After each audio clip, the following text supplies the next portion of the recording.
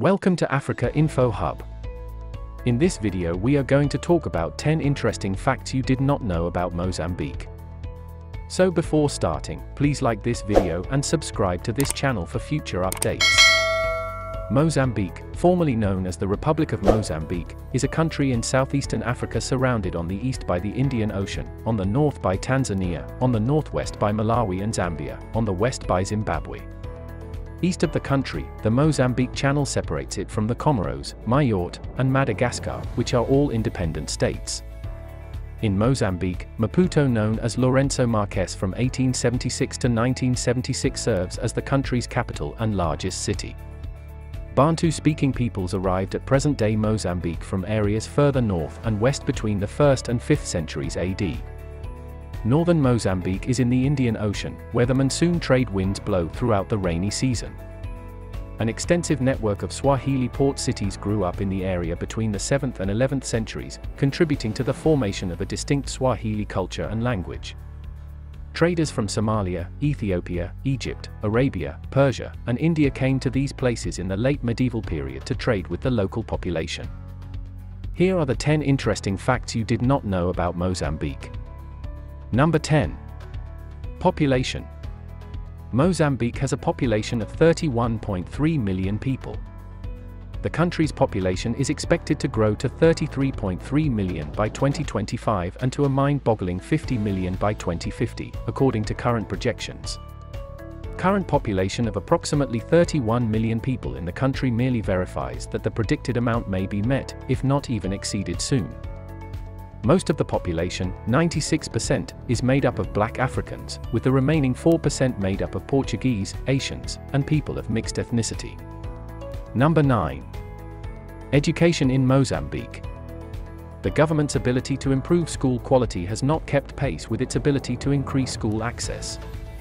The rapid development has put a lot of strain on school administration, teaching staff, and the overall quantity and quality of effective classroom education, resulting in a lot of overcrowded multi-shift schools, rising student-teacher ratios, and falling reading and math test scores. While 94% of Mozambican girls participate in elementary school, more than half drop out by the fifth grade, only 11% continue to secondary school, and barely 1% go on to college. Nearly two-thirds of students who complete primary school leave with no basic reading, writing, or math skills. To improve early grade reading outcomes, USAID's policy asks for close partnership with schools, teachers, administrators, parents, and communities training teachers and school leaders, upgrading learning materials, supporting the use of reading diagnostic tools, and encouraging increased parental and community involvement in education are all part of this effort. Number 8. It has one of the world's largest coastal marine reserves. The Coastal Marine Reserve in the Primeiras and Segundas, a 10-island archipelago, is the largest in Africa and one of the largest in the world, covering 4,020 square miles. Coral reefs, mangroves, deep underwater canyons, vast seagrass meadows, and marine life abound in this area. A great fact about Mozambique is that their coastal waters are home to over 1,200 kinds of fish and marine turtles. In November 2012, this archipelago was designated as a marine protected area. Number 7. Initiation rituals were performed with Makonde masks from Mozambique. In northern Mozambique's bordering region, the Makonde ethnic group is a minority ethnic group.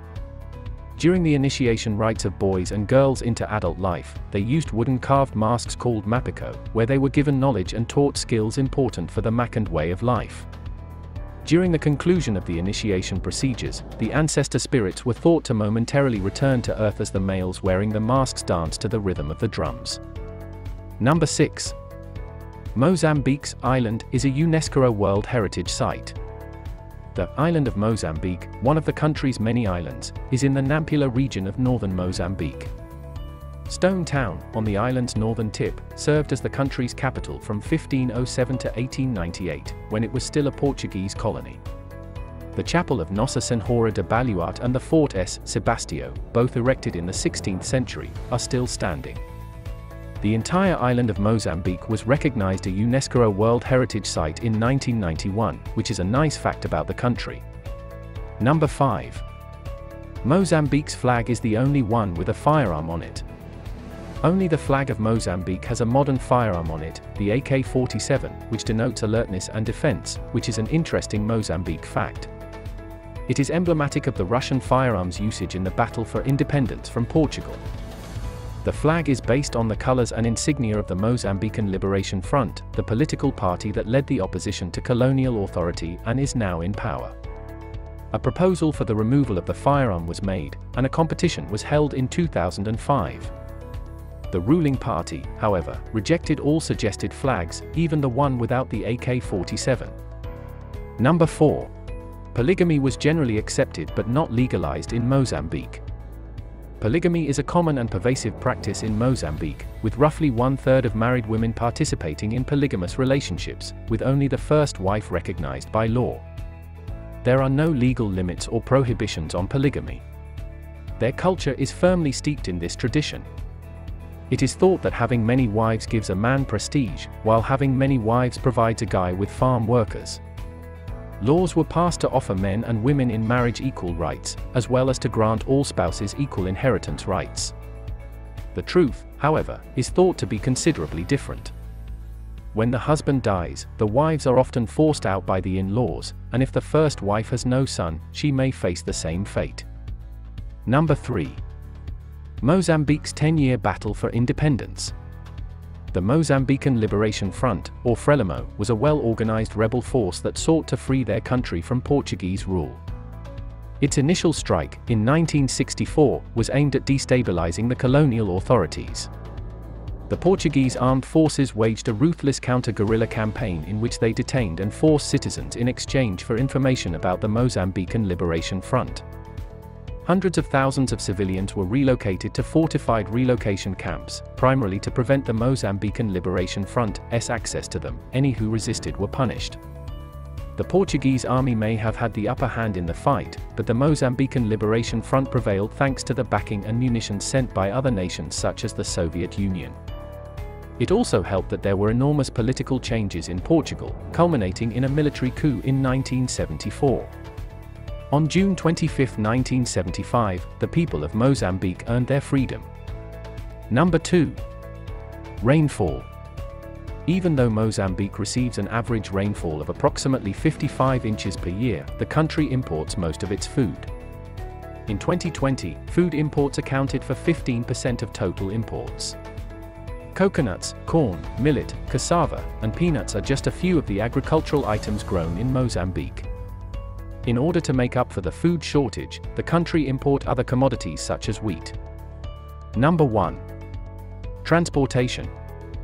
In Mozambique, majority of the population relies on public transport such as buses, minibuses, and taxis. These are the most frequent modes of public transportation in metropolitan regions. Minibuses and pickup trucks, as well as bicycles and boat taxis, are common modes of transportation in rural areas.